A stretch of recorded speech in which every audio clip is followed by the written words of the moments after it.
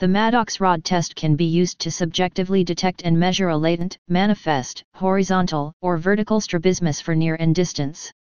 The test is based on the principle of diplopic projection. Dissociation of the deviation is brought about by presenting a red line image to one eye and a white light to the other, while prisms are used to superimpose these and effectively measure the angle of deviation, horizontal and vertical. The strength of the prism is increased until the streak of the light passes through the center of the prism, as the strength of the prism indicates the amount of deviation present. The Maddox rod is a handheld instrument composed of red parallel plano-convex cylinder lens, which refracts light rays so that a point source of light is seen as a line or streak of light. Due to the optical properties, the streak of light is seen perpendicular to the axis of the cylinder. Equipment required in Maddox rod testing. Maddox rod. Light source at near, 33 cm, and at distance, 6 m. Base in, base out, base up, base down prisms. Trial frames. Indication of use. The Maddox rod test should be used in cases of small to moderate, i.e. 25 pd, vertical deviations where there is simultaneous perception and normal retinal correspondence, NRC. Decompensated phorias. Acquired strabismus, rather than congenital or early onset. Method of assessment.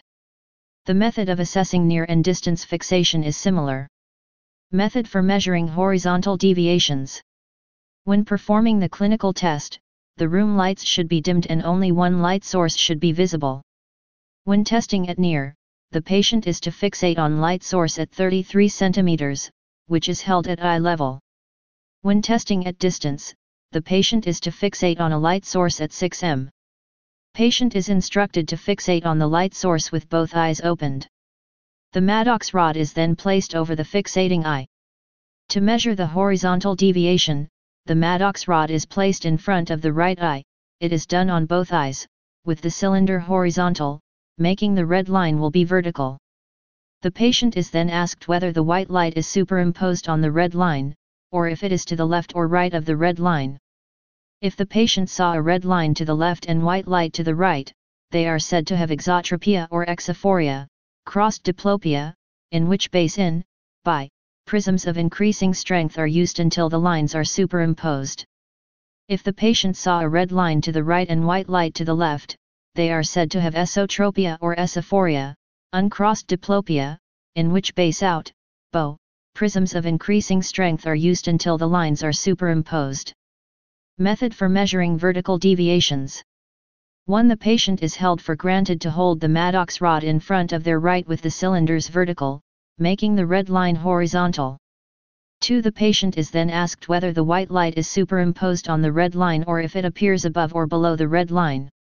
If the line appears below the light, there will be a hyperdeviation in which base down prisms are used to measure and correct the deviation.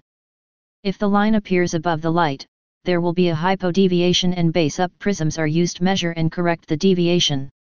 If the white light is superimposed on the red line, there are no vertical deviations present.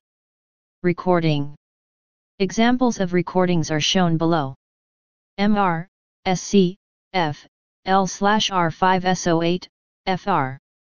MR, SC, F, L 5SO8, FR. MR, SC, F, 5BD8 BO, FR. SC, without correction. F, far. N, near. FR, fixing right. FL, fixing left.